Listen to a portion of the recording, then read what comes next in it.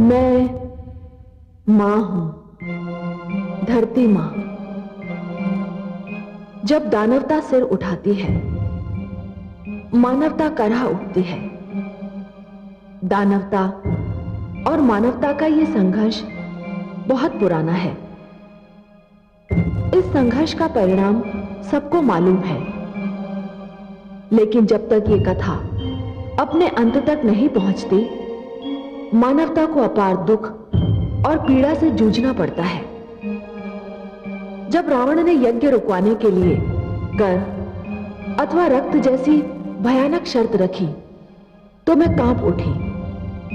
यह तो बर्बरता की हद है, किंतु शायद यही अत्याचार तो एक ऐसी कथा को जन्म देने वाला है, जिसे संसार कभी भूल ही नहीं पाएगा। जो मानव इतिहास के एक सुनहरे युग की कथा सिद्ध होगी।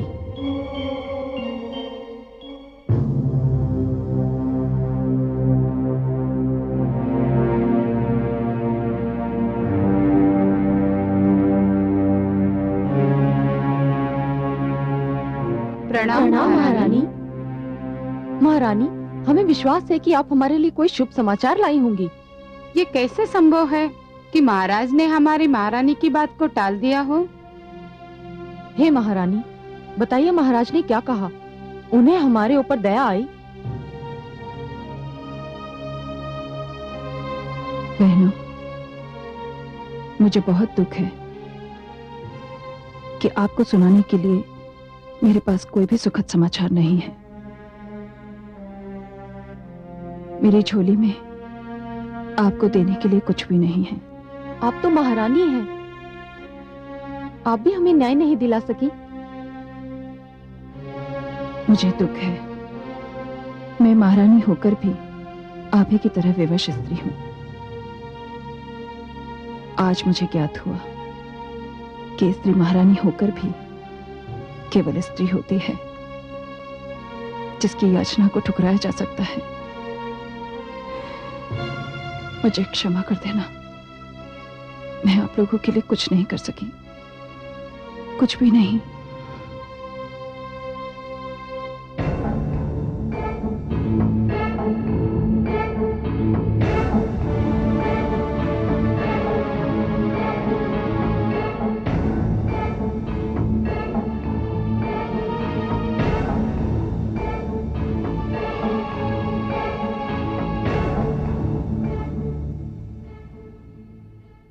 लंकापति की जय हो।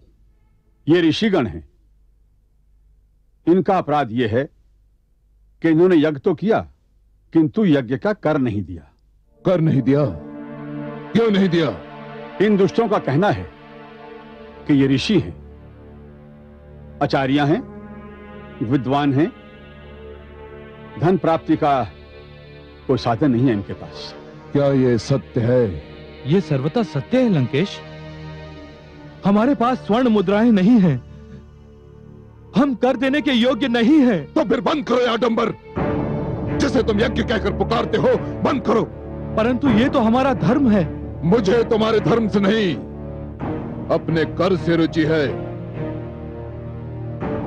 यदि तुम कर नहीं दे सकते तो तुम्हें दंड मिलेगा। आप राजा हैं। दंड देने का अधिकार है आपको। अधिक। आज्ञा लंकेश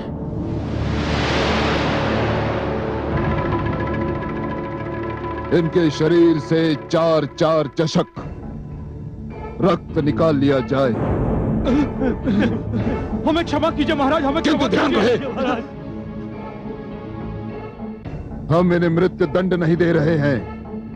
इसलिए इनके शरीर से रक्त इस प्रकार निकाला जाए कि जीवित भी रहे और जीवन को अभी शब भी समझें।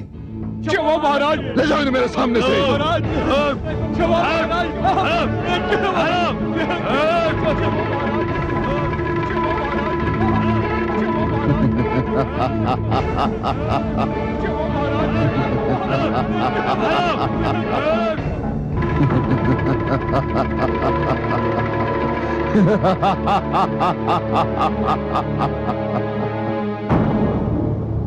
मैं इन यज्ञ करने वाले ऋषियों को एक दिन में नहीं मारूँगा इतनी सरलता से नहीं मारूँगा मैं इन्हें इस प्रकार जीवित रहने दूँगा कि इन्हें जीवन से घृणा हो जाए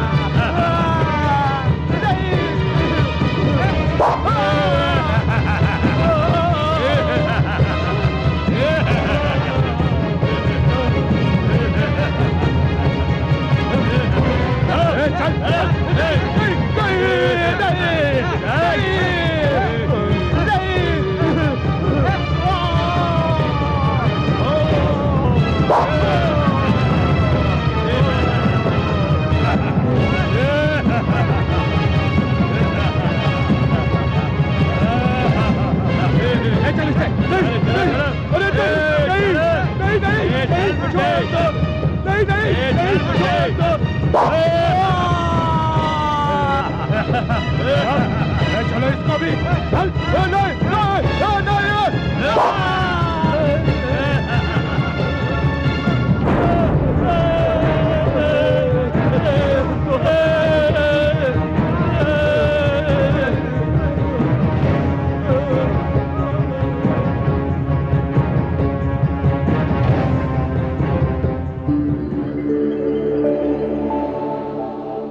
कमल नयन ये तो घोर अन्याय हो रहा है। निर्ममता असहनीय है। जानता हूँ महादेवी जानता हूँ। परंतु आप भी ये जान लीजिए महादेवी कि रावण के पतन की कहानी इसी रक्त से लिखी जाएगी। हे महादेवी हर युग में यह होता रहा है और ऐसा ही होता रहेगा। अत्याचार रक्त की नदियाँ तो अवश्य बहाता है किंतु अंत में उन्हीं नदियों में डूब जाता है। परंतु हे कमल नयन अभी तो ऐसा लग रहा है मानो इन निर्दोषों का रक्त व्यर्थ जा रहा है। नहीं महादेवी। निर्दोषों निर्बलों और दुखियों का रक्त कभी व्यर्थ नहीं जाता। महादेवी जिस प्रकार अंधियारी रात्रि सूर्य की एक किरण का भी सामना नहीं कर पाती उसी प्रकार अत्याचार क्रांति की पहली चिंगारी को भी सहन नहीं कर पाता। दुखियारी मंदोदरी कितनी भली नारी कितना दुष्ट के चंगुल में फंस गई। महादेवी कमल तो सदैव कीट में ही खिलता है ना? और मंदोदरी को इस क्रांति में एक बहुत महत्वपूर्ण भूमिका निभानी है। महादेवी जिस क्रांति में नारी की भूमिका ना हो, वो क्रांति कभी सफल नहीं हो सकती। फिर वो क्रांति चाहे घर के भीतर हो या घर के बाहर।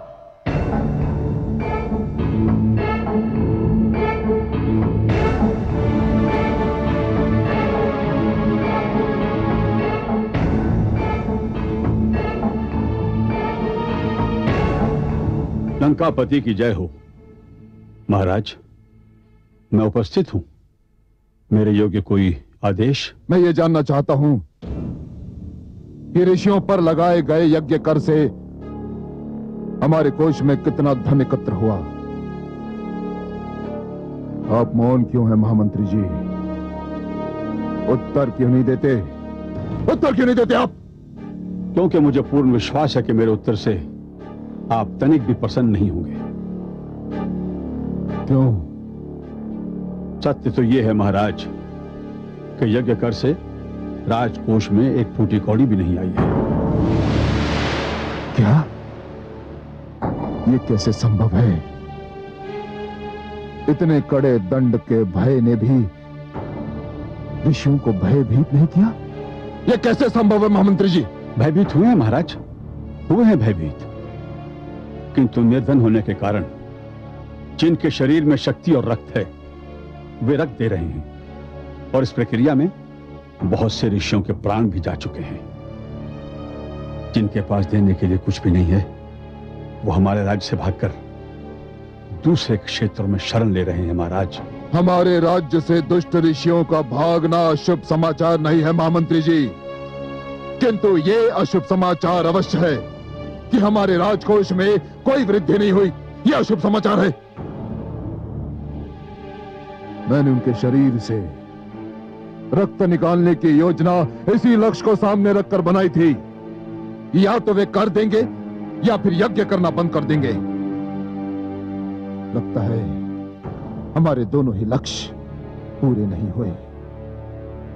किंतु अब उनके रक्त का हम क्या करेंगे? किस काम का उनका रक्त? लंकेश की जय हो। राजवधिक आपसे मिलना चाहता है महाराज। भेजो उसे। जो आज्ञा।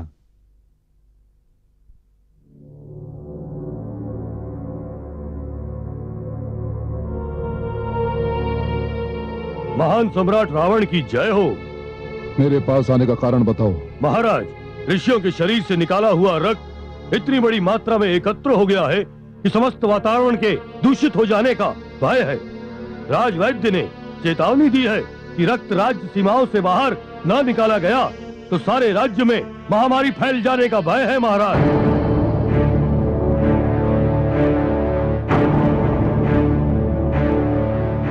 हम्म।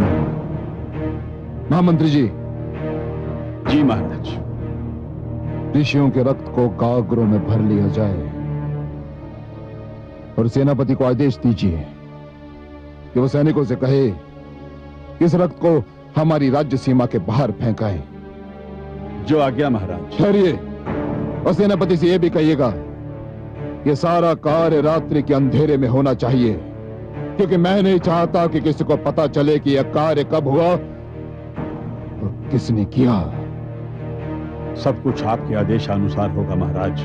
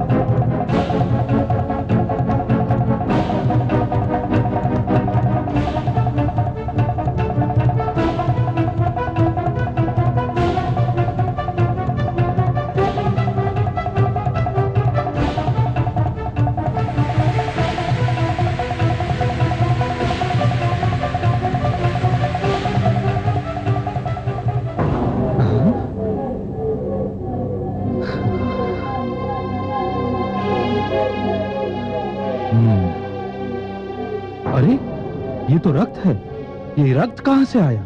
आकाश से। आकाश से? चलिए गुरुदेव विश्वामित्र को इसकी सूचना दे। जाने ये क्या रहस्य है। चलिए। चलिए। चलिए चलिए।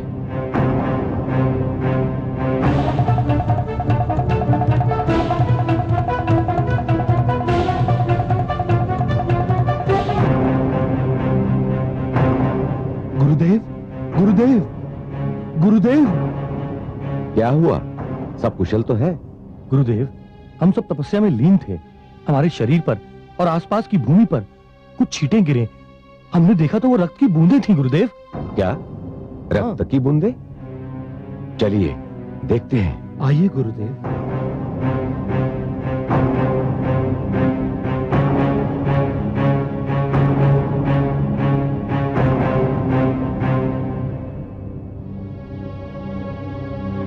ये तो घोर आश्चर्य है। यदि आकाश से रक्त बरसेगा तो इस धरती का क्या होगा? अवश्य ही इस धरती पर कोई प्रकोप टूटने वाला है।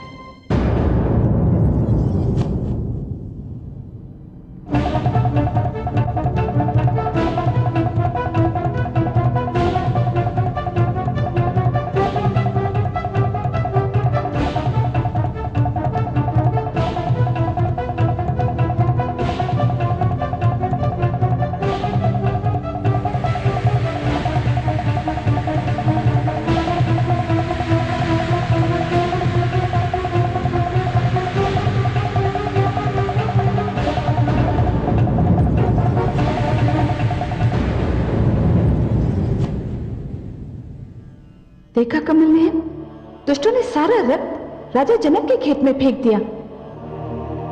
राजा जनक के राज्य में भयंकर अकाल पड़ने वाला है महादेवी। क्यों कमल नयन?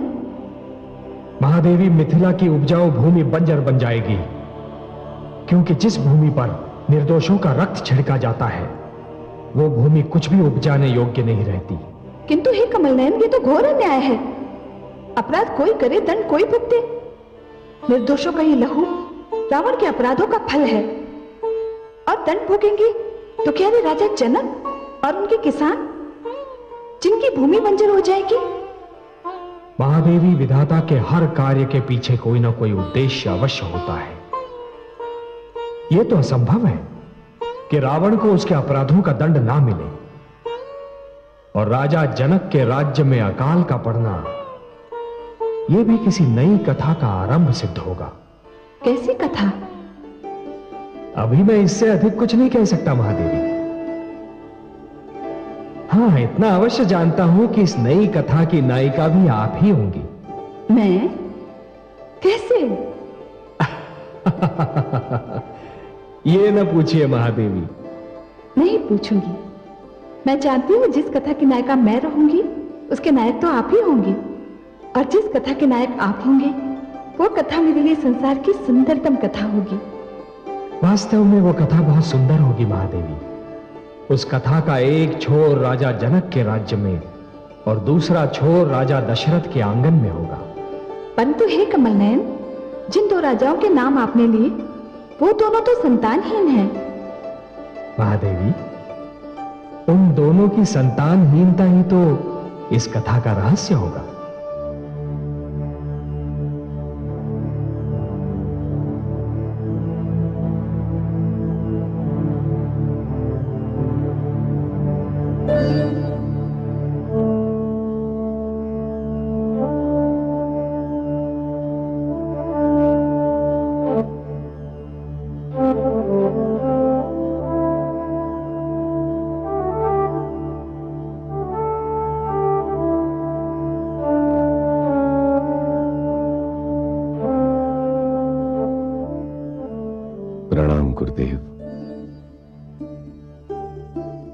यशस्वी भव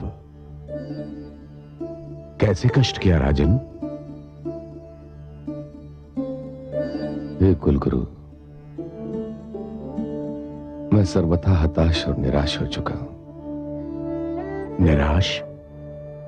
किससे? स्वयं से संसार से और ईश्वर से भी। हे प्रभु हे प्रभु। ईश्वर से निराश? ये तो पाप है, राजन। उसके भेद कोई नहीं जानता। कैसे निराश ना हो गुरुदेव? पहले कौशल्या, फिर सुमित्रा, और अब कह कही तीन पत्नियों के होते हुए भी मेरे घर का आँगन सूना पड़ा है। राजन, संतानोत्पत्ति पत्नियों की संख्या पर निर्भर नहीं करती। इसके एक नहीं, अनेक कारण होते हैं। और उनमें सबसे बड़ा कारण तो ईश्वर की इच्छा है। तो मैं ईश्वर को कैसे मनाऊं, गुरुदेव? क्या प्रार्थना करूँ?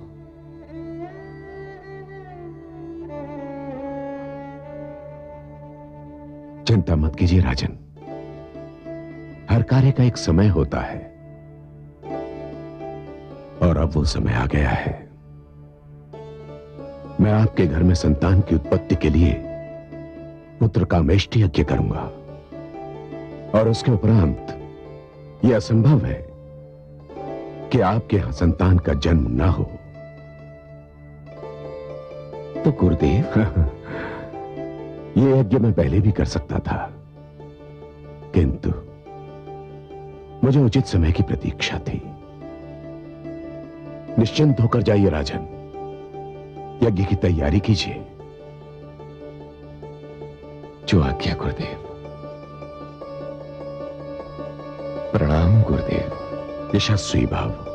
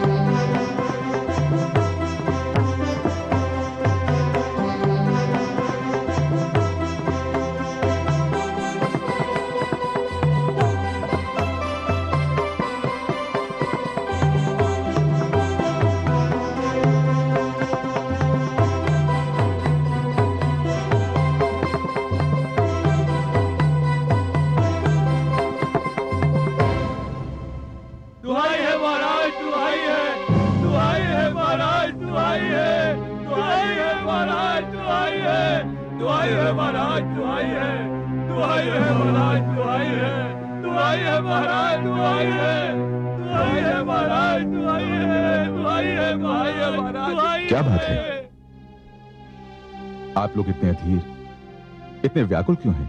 हे महाराज, हम लुट गए। हमारे हरे भरे खेत सूख गए हैं, महाराज। महाराज, हमारी उपजाऊ धरती देखते ही देखते बंजर हो गई है, महाराज। हे महाराज, सारे ताल तलैया, कुएँ झरने सूख गए हैं। दूर दूर तक पानी दिखाई नहीं देता, महाराज। हमारे पशु पक्षी भूख प्यास से तड़प तड़प कर मर चुके हैं महाराज। हे महाराज हमारे घर में अन्न का एक दाना भी नहीं है। हमारे बच्चे भूख से पिलक रहे हैं महाराज भूख से पिलक रहे हैं। महामंत्री जी। आज्ञा महाराज। कोषाध्यक्ष को आदेश दिया जाए कि कोषागार का मुख खोल दिया जाए। यदि अकाल के कारण हमारे राज्य में मृत्यु की एक भी घटना हुई तो उसके लिए सभी कर्मचारियों को उत्तरदायी माना जाएगा। अकाल से पीड़ित प्रजा को जी खोलकर धन दिया जाए। भले ही इससे हमारा समस्त राजकोष रिक्त क्यों ना हो जाए। राजन।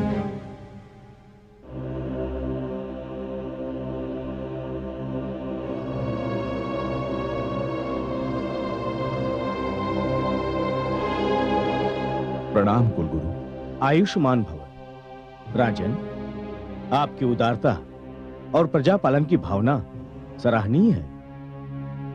पर उससे कोई लाभ नहीं होगा। क्यों गुरुदेव? क्योंकि यह प्रकृति का प्रकोप नहीं है। इसका कारण कुछ और ही है। आपका राजकोष वास्तव में रिक्त हो जाएगा पर धरती की कोख हरी नहीं होगी। इसके लिए तो आपको कुछ और ही करना होगा। क्या करना होगा गुरुदेव? मैं अपनी पीड़ित प्रजा को इस अकाल से बचाने के लिए कुछ भी करने के लिए तैयार हूँ। कृपया मुझे शीघ्र बताए गुरुदेव कि मैं क्या करूँ?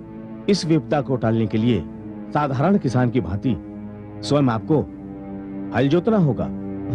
धरती की जुताई, बुआई और गुड़ाई करनी होगी। मुझे स्वीकार है, गुरुदेव। मेरी तो प्रजा ही किसान है और किसानों का राजा होकर भला मुझे स्वयं हल चलाने में क्या आपत्ति हो सकती है? संभव है इस अकाल का यही कारण हो कि मैंने किसानों का राजा होना तो स्वीकार कर लिया। परंतु अपनी प्रजा की भांति उसके साथ कभी हल नहीं चलाया, कभी खेती नहीं की। गुरुदेव, मैं अपनी प्रजा के कल्याण के लिए स्वयं हल चलाऊँगा। प्रजापालक महाराज जनक की जय! प्रजापालक महाराज जनक की जय! प्रजापालक महाराज जनक की हे कमल नयन, मिथिला नरेश जनक ने कितना सुंदर और कितना अनुपम निर्णय लिया है। इस संकट की घड़ी में वो अपनी किसान प्रजा की भांति खेत में हल चलाएँगे। उनका ये निर्णय सुनकर मेरा हृदय प्रसन्नता से झूम उठा है। हे महादेवी, और आपको इतना प्रसन्न देखकर मुझे जो प्रसन्नता हो रही है, उसका वर्णन मैं शब्दों में नहीं कर सकता। महादेवी, राजा वही है जो स्वयं को प्रजा के सुख दुख का भागीदार समझे। वो राजा ही क्या जो स्वयं को प्रजा से दूर रखकर अपने राजभवन के ऐश्वर्य का बंदी हो जाए? स्वयं अपने सुखी संसार में इतना मग्न हो जाए कि उसे ये पता ही न हो कि प्रजा पर क्या बीत रही है, प्रजा कैसे जी रही है। हे महादेवी, जो राजा संकट की घड़ियों में प्रजा के कंधे से कंधा मिलाकर खड़ा नहीं हो सकता, वो राजा कहलाने योग्य ही नहीं है। और मुझे इसलिए और भी प्रसन्नता हो रही है कि जनक ने किसान के महत्व को पहचाना। यदि ईश्वर जन्मदाता है तो किसान अन्नदाता है। वो धरती को अपने लहू से सींच कर मानव को जीवित रहने का साधन प्रदान करता है। सर्वथा सत्य है महादेवी। किसान धरती पर ईश्वर का सहायक होता है। परंतु इससे भी बड़ा एक सत्य और है महादेवी, कि एक राजा तो केवल अपनी प्रजा का पालक होता है, परंतु एक किसान सारी मानवता का पालक होता है। इसलिए हे महादेवी राजा जनक का हल थामना उनका गौरव कम नहीं करता बल्कि उसमें और भी वृद्धि करता है। हे कमल नयन मेरे मन में राजा जनक के प्रति अपार स्नेह और आदर भाव का सागर उमड़ने लगा है। न जाने इसका क्या कारण है। महादेवी कारण के बिना किसी रहस्य का अस्तित्व संभव ही नहीं है। जिस प्रकार बादल के बिना बरखा नहीं हो सकती, अग्नि के बिना धुआँ नहीं हो सकता, उसी प्रकार कारण के बिना कोई रहस्य जन्म ही नहीं ले सकता महादेवी। हाँ इतना अवश्य है कि रहस्य वही अति सुंदर होता है जिसका कारण तुरंत समझ में ना आए। हे जगदीश, हे श्रीहरि, आप तो कारणों के कारण हैं, रहस्यों के रहस्य। मैं बहुत व्याकुल हो उठी हूँ। आप ही बताइए ना इस रहस्य का क्या कारण है? आप कथा प्रारंभ होने से पहले ही उसका अंत जानना चाहती हैं, महादेवी। महादेवी, व्याकुल न हो। कारण अतिशीघ्र आपके समझ में आ जाएगा। आप तो बस जनक की मिथिला नगरी पर अपनी दृष्टि जमाए रखिए। और मुझे ये देखने दीजिए कि दशरथ की अयोध्या नगरी में क्या हो रहा है।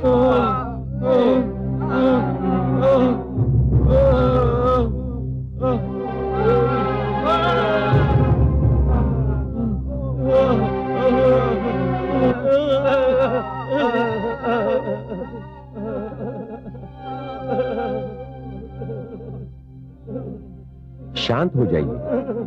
क्या हुआ? हे ऋषिवर दुष्ट रावण ने हमारा जीवन अजीर्ण कर दिया था। बहुत से ऋषि यज्ञ करने के कारण मारे गए। अब किसी प्रकार अपने प्राण बचाकर यहाँ आए हैं। कुछ उपाय कीजिए ऋषिवर। धीरज धरिए ऋषिगण यहाँ आपको कोई भय नहीं। और कितने ऋषि हैं जो अब भी लंका में हैं? उनकी संख्या का कोई अनुमान नहीं। वे अनेक हैं। न जाने दुष्ट रावण उनमें से कितनों के प्राण लेगा। कोई उपाय कीजिए ऋषिवर। कोई उपाय कीजिए। उपाय? इसका उपाय केवल देवर्षि नारद ही कर सकते हैं। नारायण नारायण। मुझे स्मरण किया ऋषिवर। अरे आप लोगों की दशा तो बिना कुछ कहे ही अत्याचार की पूरी परिभाषा बता रही है। लंकापति रावण ने इन्हें इस दशा को पहुँचाया है। और यदि सूदन ली गई तो जो ऋषिगण लंका में रह गए हैं एक एक करके उनका भी अंत हो जाएगा। इसलिए, हे देवर्षि, हमारी आपसे यह विनती है कि आप श्री विष्णु से आग्रह करें कि वे इन ऋषियों के संकट का निवारण करने और दुष्ट रावण का नाश करने के लिए इस धरती पर अवतरित हो। होना तो यही चाहिए, ऋषि विश्वामित्र। किंतु लक्ष्मी नारायण को मनाने के लिए बड़ी घोर तपस्या करनी होगी। और यह कार्य मैं नहीं कर सकता। आप क्यों नहीं कर सकते देवर्षि? कारण यह है श्रीमान कि मुझसे एक भूल हो गई। मैंने दक्ष के दस सहस्त्र पुत्रों को दीक्षा देकर सन्यासी बना दिया जिसके फलस्वरूप दक्ष ने मुझे श्राप दिया कि मैं किसी भी एक स्थान पर कुछ ही क्षण टिक सकता हूँ। अब मैं क्या करूँ? यदि मैं तपस्या आरंभ करता हूँ तो मुझे उस स्थान को कुछ ही क्षणों में छोड़ना पड़ेगा। और भगवान श्री विष्णु को धरती लोक पर लाने के लिए कुछ ही क्षणों की तपस्या तो सर्वथा अपर्याप्त है। इसका समाधान है देवर्षि, और इसका केवल एक ही समाधान है। यदि ये समस्त ऋषि अपने जीवन में की हुई तपस्या का तपोबल आपको दे दें तो आप एक लंबी तपस्या की क्रिया से बच जाएँगे। हे ऋषिगण, क्या आप इस त्याग के लिए तैयार हैं? ये तो हमारा सौभाग्य होगा।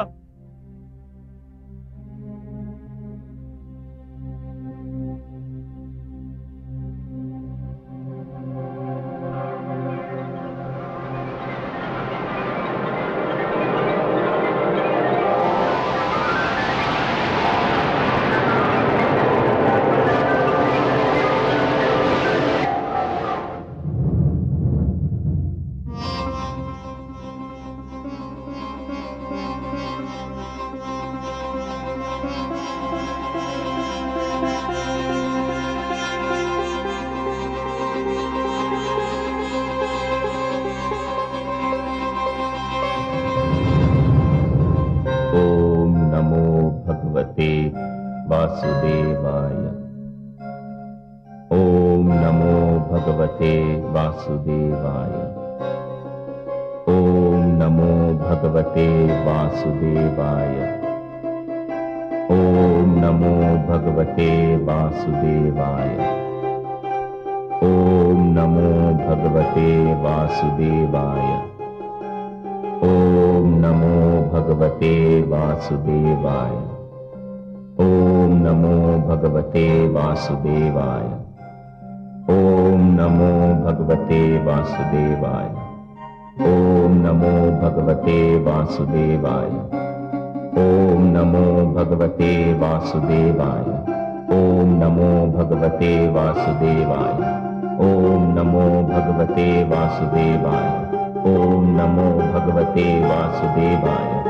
ओम नमो भगवते वासुदेवाय। ओम नमो भगवते वासुदेवाय ओम नमो भगवते वासुदेवाय। ओम नमो भगवते वासुदेवाय। ओम नमो भगवते वासुदेवाय। ओम नमो भगवते वासुदेवाय। ओम नमो भगवते वासुदेवाय। ओम नमो भगवते वासुदेवाय। ओम नमो भगवते वासुदेवाय ओम नमो भगवते वासुदेवाय।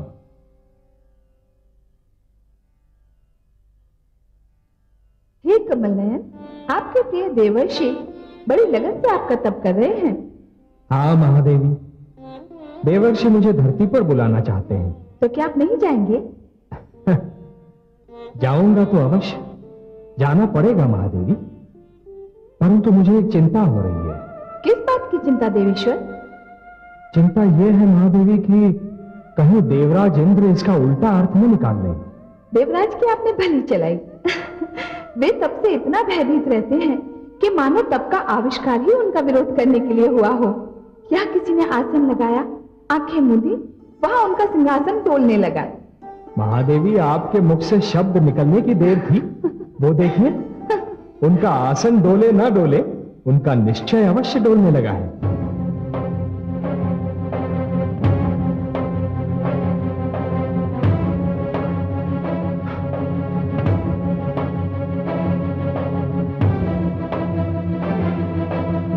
ये को क्या सूची क्यों कर रहे हैं तप उन्हें तपस्या की क्या आवश्यकता आन पड़ी? हे देवराज यदि आप आज्ञा दें यदि आप कहें तो हम पता लगाएँ कि उनकी तपस्या के पीछे क्या रहस्य है। पता लगाने की क्या आवश्यकता है अग्निदेव? क्या आवश्यकता है? हम जानते हैं भली भांति जानते हैं कि जो भी तपस्या करता है उसकी आँख देवेंद्र के सिंहासन पर ही होती है। कामदेव कामदेव!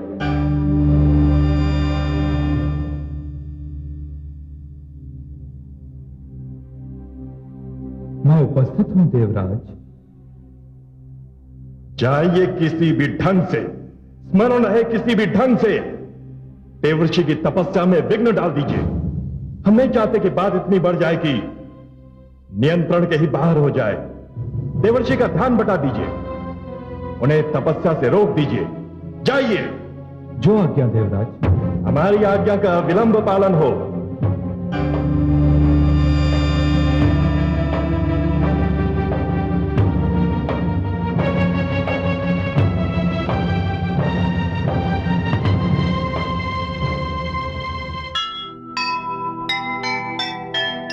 सीमा से भी बढ़ गया जब रावण का पाप। धरती व्याकुल हो उठी, हुआ घोर संताप। आसन डोला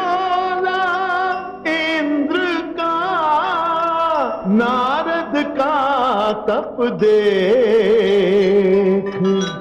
देवराज को क्या पता क्या है विधि का